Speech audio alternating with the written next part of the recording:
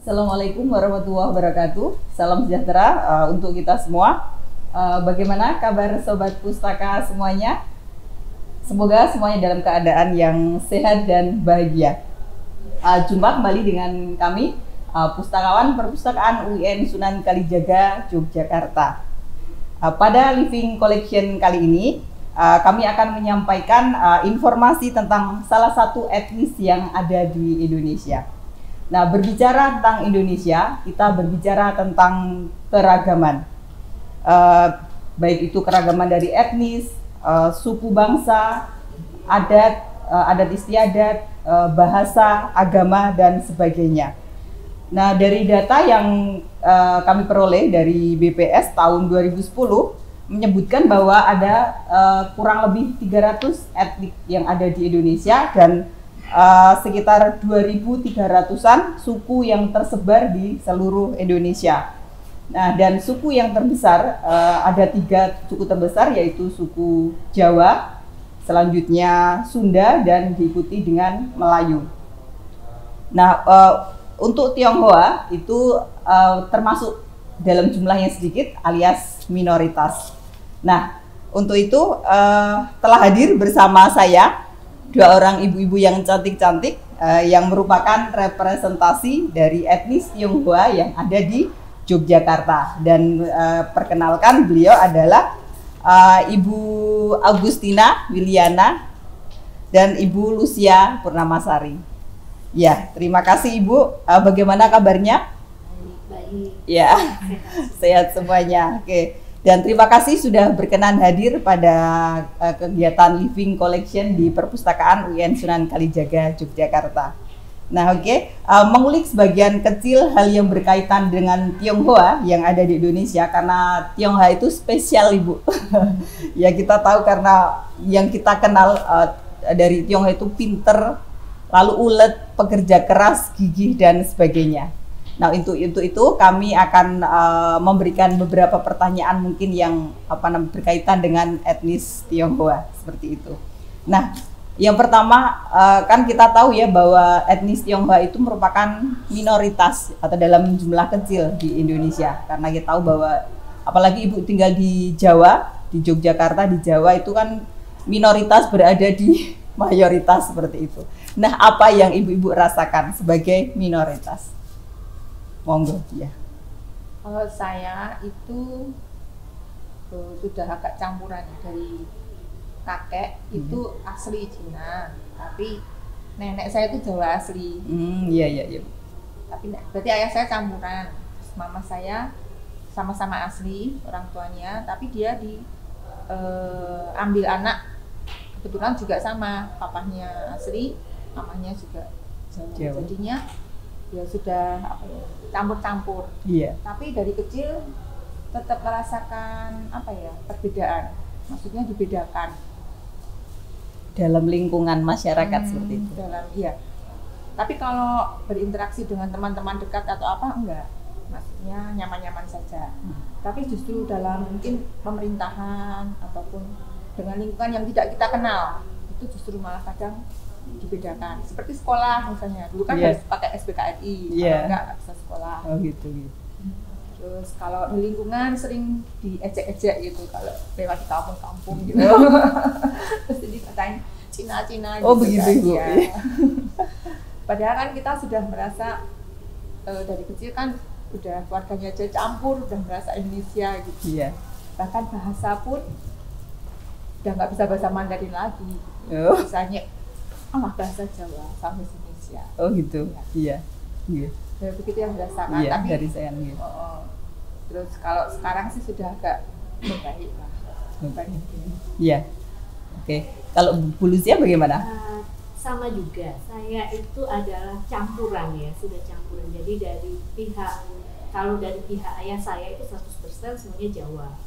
Tapi kalau dari pihak ibu saya itu uh, nenek itu nenek itu Chinese, Iya. kemudian kakek itu Jawa. Hmm. Jadi otomatis ibu saya kan sudah campuran. Iya. Dia menikah sama ayah saya yang Jawa. uh, Jawa. Jadi saya ini kulitnya agak berbeda nih sama Mbak Justina ya.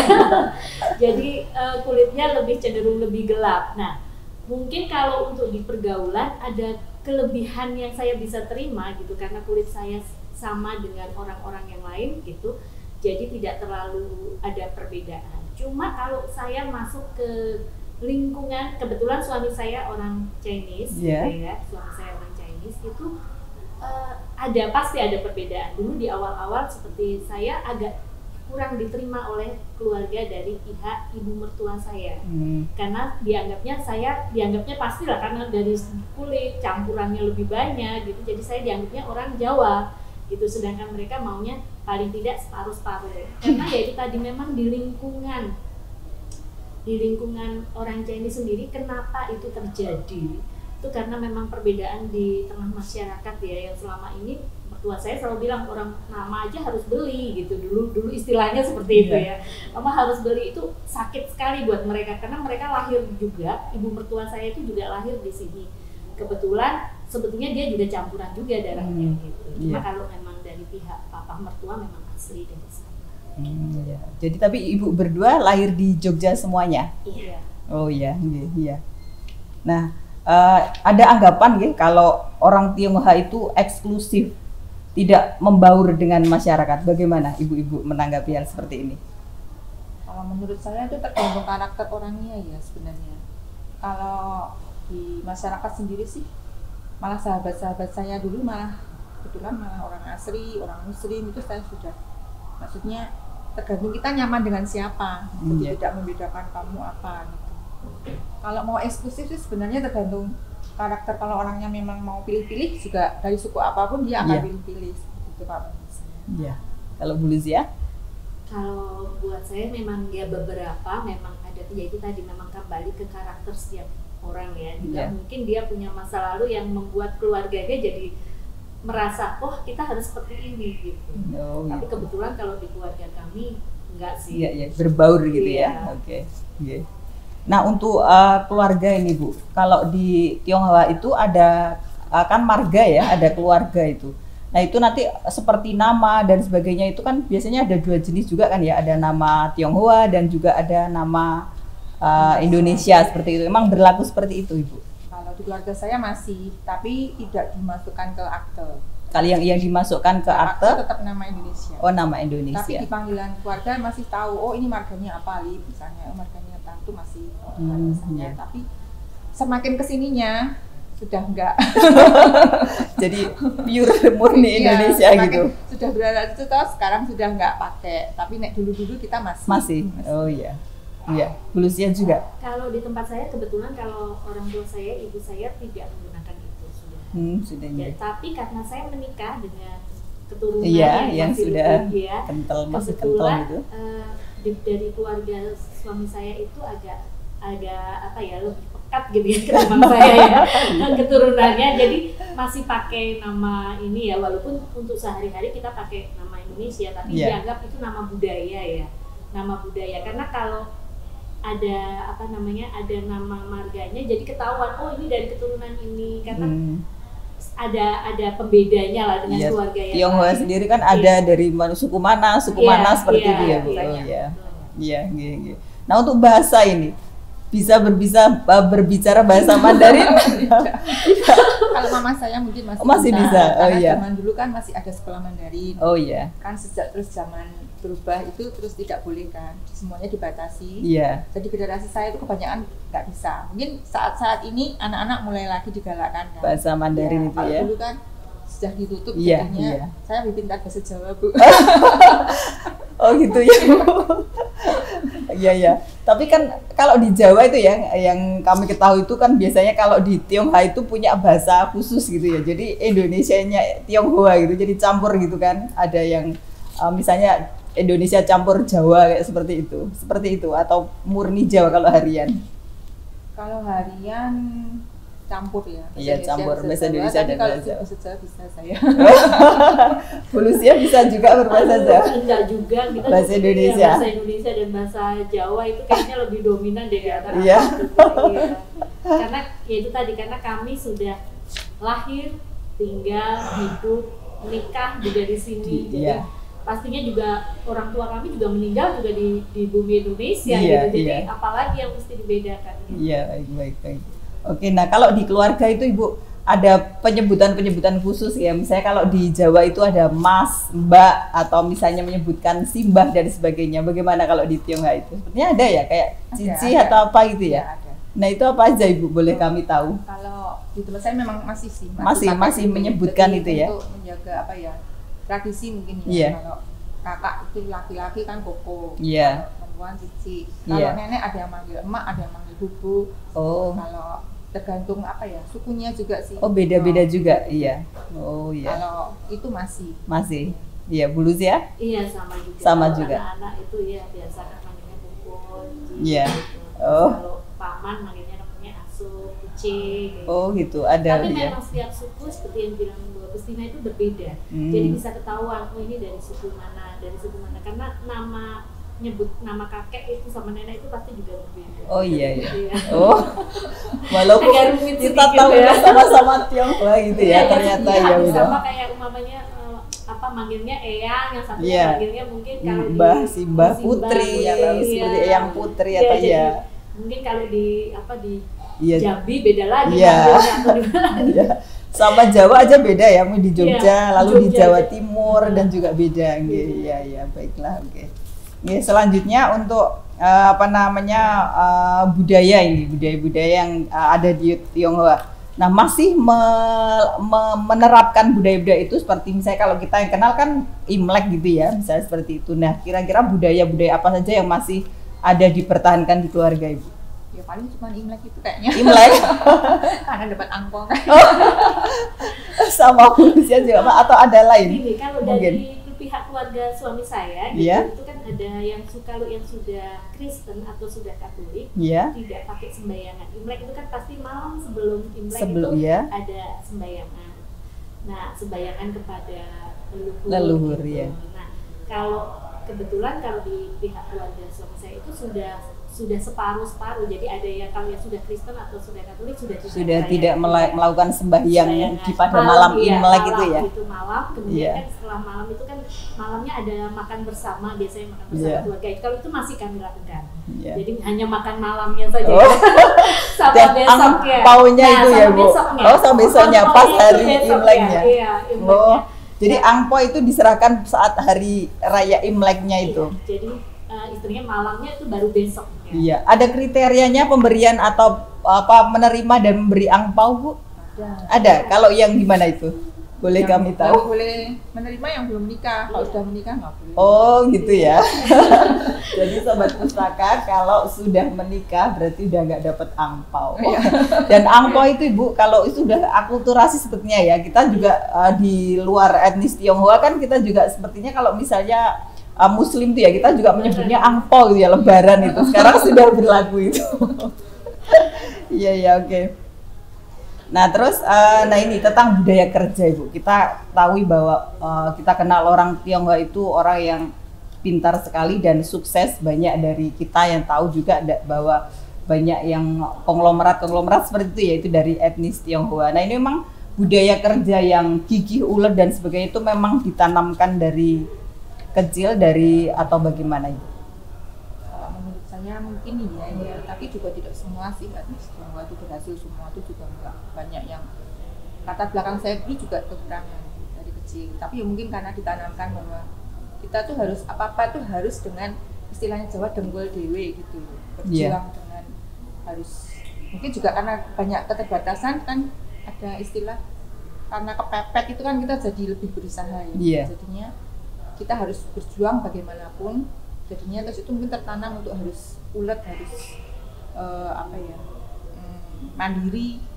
Nah mungkin seperti itu. Jadinya secara tidak sadar dari kecil memang ditanamkan itu. Iya. dan kebanyakan dari kita kan memang dulu kan terbatas di eh, apa ya bidang-bidang lainnya kecuali usaha. Jadi Iya. kebanyakan pada terjunnya ke usaha Susah ya karena memang dulu di pemerintahan mungkin Iya, ya itu kan ya. pasti banyak keterbatasan gitu Iya. Iya gitu. Kalau Bu Luzia bagaimana? Kalau dulu di zaman saya masih kecil tuh saya selalu ingat eh, almarhum ibu saya, mama saya itu selalu bilang "Eh, zaman dulu tuh zaman mami masih kecil gitu ya bilangnya. Iya, iya. itu kalau belum kaya itu nggak boleh makan nasi, jadi makannya bubur. Oh. Jadi istilahnya untuk menyatakan bahwa itu kerja keras itu harus dimulai dari seperti itu. Jadi kalau sudah kamu kehidupannya mapan itu baru boleh makan nasi. Hmm. Itu dulu kata ibu saya zaman nenek-nenek itu seperti itu. Iya. Ya kebetulan kalau sekarang kan sudah berbeda ya.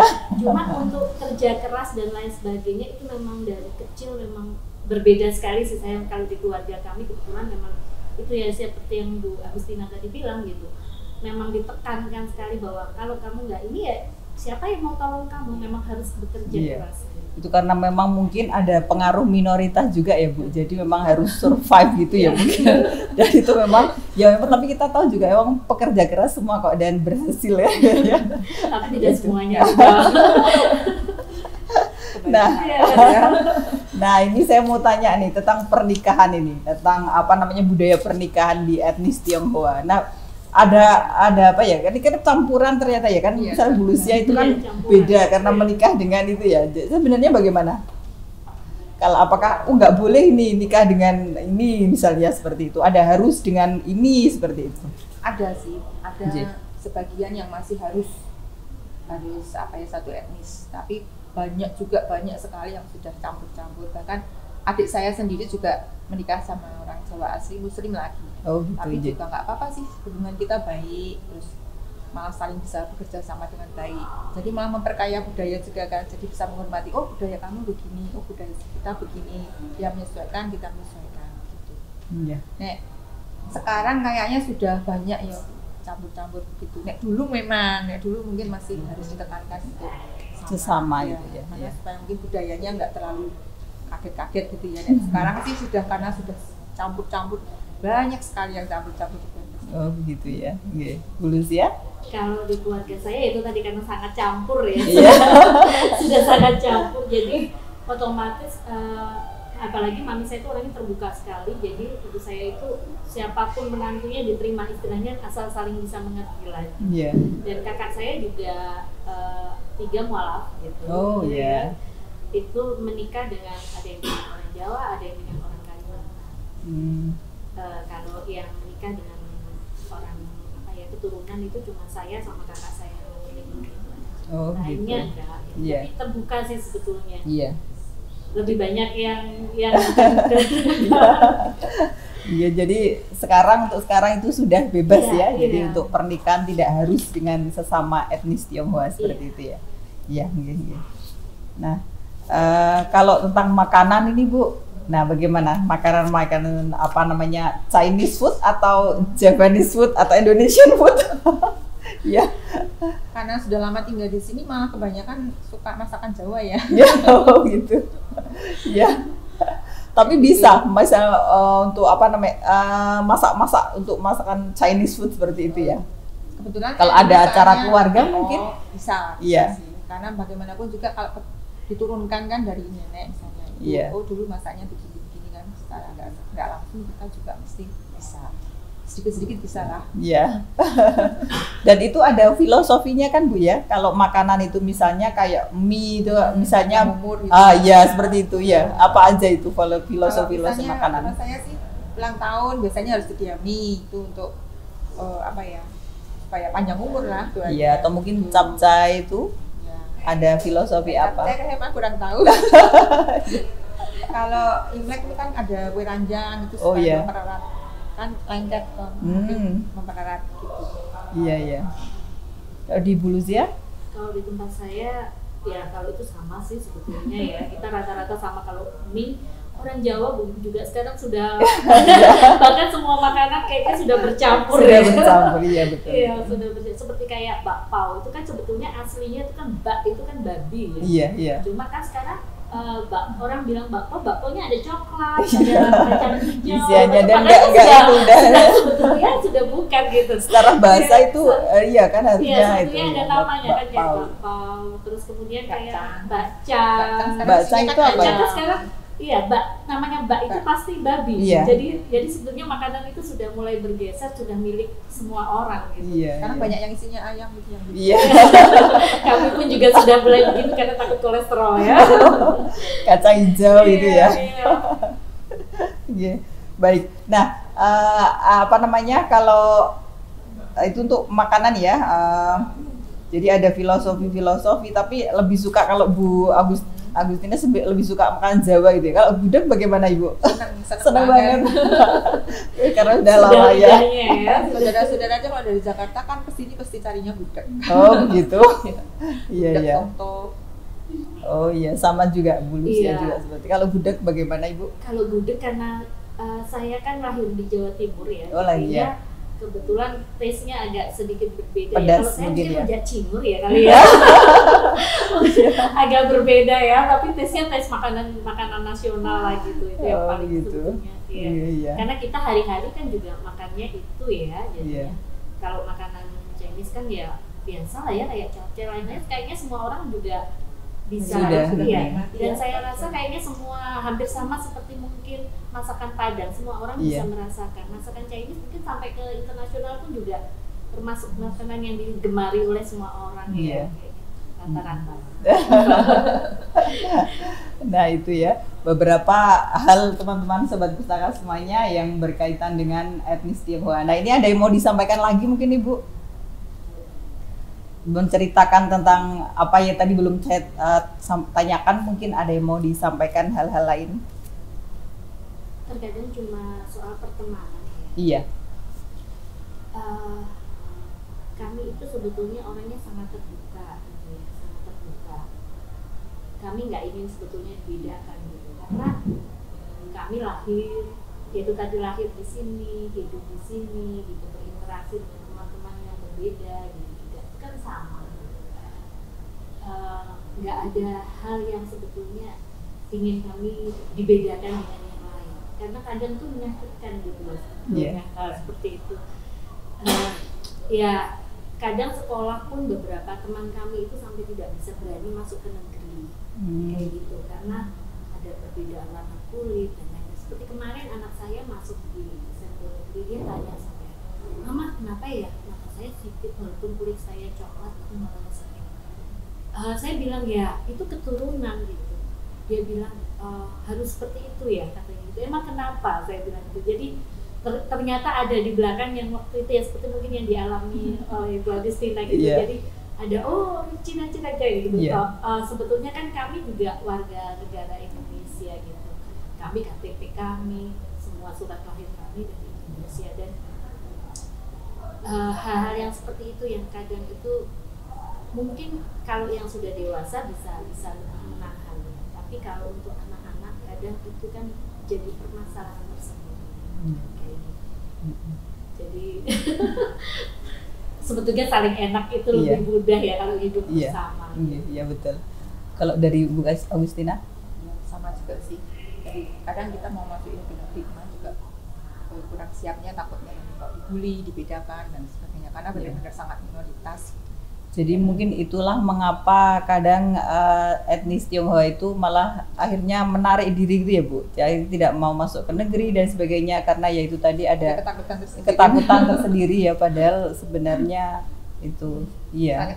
Sering disebut Cina Cina kita sendiri saja mungkin nggak ngerti apa belum pernah ke sana nggak tahu bahasanya Iya. kan sudah dari lahir hidup di sini Iya, lahir besar di Iya, bumi juga Indonesia. Indonesia Iya. Iya. nah, baik Ibu, terima kasih ya atas apa namanya eh, sharingnya untuk Living Collection kali ini. Dan eh, mungkin untuk penutup, s- eh, saya sampaikan bahwa suku etnis di Indonesia tersebar secara he- heterogen dengan keanekaragaman yang sangat tinggi. Dan salah satu jalan untuk mewujudkan persatuan bangsa di tengah masyarakat yang heterogen adalah eh, melalui masyarakat yang multikulturalis. Karena multikulturalisme ini menekankan pada gagasan kesetaraan dan saling meng- menghargai kebudayaan lain dan multikulturalisme di Indonesia dapat diarahkan untuk eh, menguatkan kesadaran atas identitas bersama yaitu nasionalisme ya karena kita juga sama-sama lahir di Indonesia, sama-sama eh, hidup di Indonesia, kita sama-sama juga mencintai Indonesia sebagai eh, satu kesatuan, negara kesatuan Republik Indonesia. Nah, demikian Ibu-ibu, terima kasih sudah bergabung dan menyampaikan informasi yang berkaitan dengan etnis Tionghoa. Terima kasih atas kehadirannya dan berkenan apa namanya menyampaikan informasi-informasi. Uh, dan uh, mungkin sobat pustaka demikian dari kami. Terima kasih atas perhatiannya. Sampai jumpa di uh, apa namanya Living Collection selanjutnya. Terima kasih. Wassalamualaikum warahmatullahi wabarakatuh.